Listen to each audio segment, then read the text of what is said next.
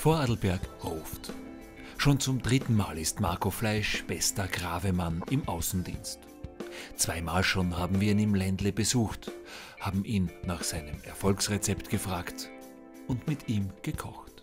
Genauso entscheidend ist so beim Geschäftsabschluss, wann ist der Punkt da, zum dem Kunde sagen, so und jetzt machen wir das. Wir haben Freunde und Weggefährten gefragt, was Marco zum Österreich-Besten macht.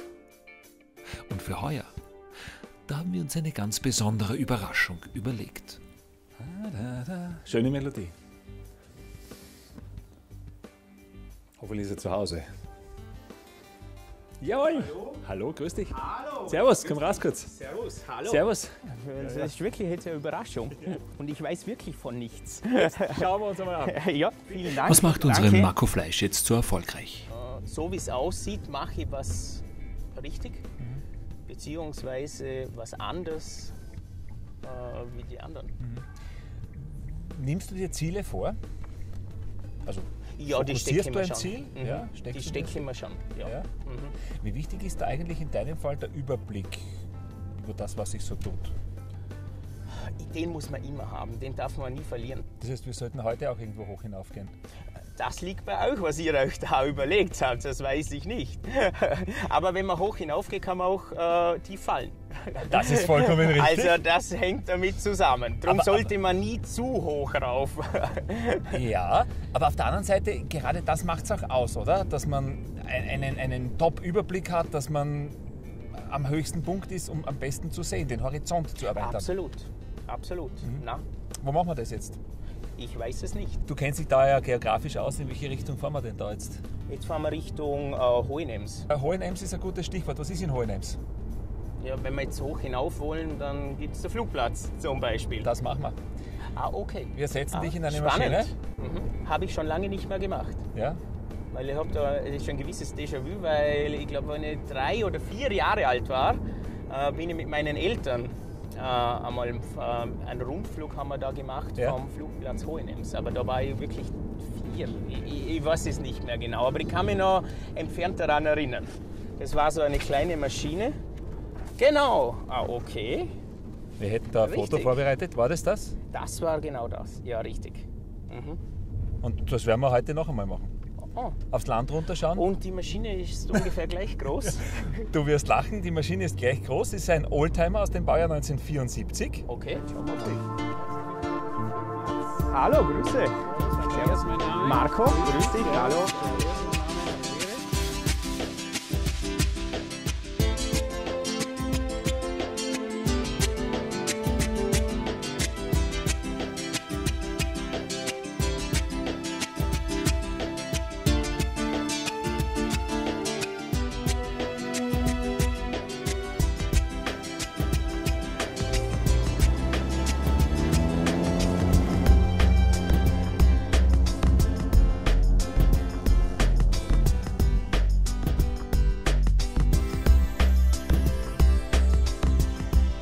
Wir da rausschauen, ist schon ein sehr schönes Land, oder? In dem wir leben. Absolut. Es ist schön, das wieder einmal von oben zu sehen, das Ganze. Was bedeutet denn Heimat für dich? Heimat, äh, da gibt es ein Sprichwort von äh, meiner Großmutter. Äh, vergesse nie die Heimat, wo deine Wiege stand, du findest in der Fremde kein zweites Heimatland. Und so ist es halt, da wo man aufgewachsen se- ist, sind die Wurzeln und da fühlt man sich einfach zu Hause. Schau, da vorne schieben sich die Berge rauf. Äh, so diese Horizonterweiterung, die ist auch immer wieder mal wichtig, oder? Absolut, absolut. Man sollte den Horizont nie aus den Augen verlieren, eigentlich, äh, und ihn auch sehen. Weil wenn man keinen mehr sieht, dann wird es auch schwierig. Also von hier oben könnte man schon noch den einen oder anderen potenziellen neuen Kunden ausmachen. Absolut, absolut. Die wird es auch geben. Nur es gibt noch viele andere, die dasselbe versuchen wie ich. Jetzt nicht alle bei der Grabe. Und da muss man jedem was übrig lassen. Man muss ja nicht alles haben. In der Fliegerei braucht man Flughäfen, Flugzeuge, einen Flugplan, einen Kapitän. Ist das so ähnlich wie in der Versicherung? Es ist schon ähnlich, aber schlussendlich äh, ist man ein Einzelkämpfer. Man braucht die Hilfe, man ist abhängig von einer funktionierenden Vertragsabteilung, von einer funktionierenden Schadensabteilung. äh, von einer äh, Geschäftsführung, mit der man kann. Aber schlussendlich äh, kämpft man wirklich alleine.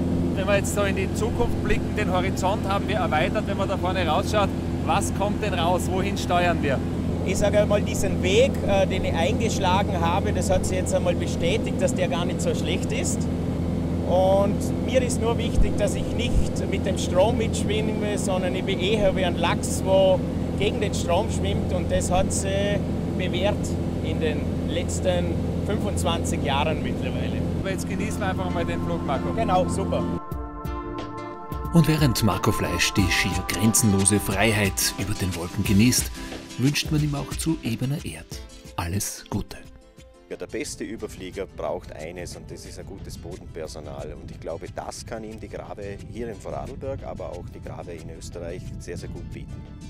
Der Marco hat, hat zwei positive Aspekte, was, er, was ihn erfolgreich macht. Einerseits einmal diese Ausbildung in Graz, abschließend mit dem äh, akademischen Versicherungskaufmann. Auf der anderen Seite entwickelt er noch mehr Leidenschaft wie ich für diesen Job. Also ich denke mal, dass er das sehr, sehr gut macht und darum ist er auch so erfolgreich. Weil er einfach ein guter Arbeiter ist. Ja, ich wünsche ihm weiterhin viel, viel Glück und Erfolg und er soll so bleiben und so weitermachen, wie das bisher geschehen ist. Und abschließend noch die wichtigste Botschaft des Jahresbesten.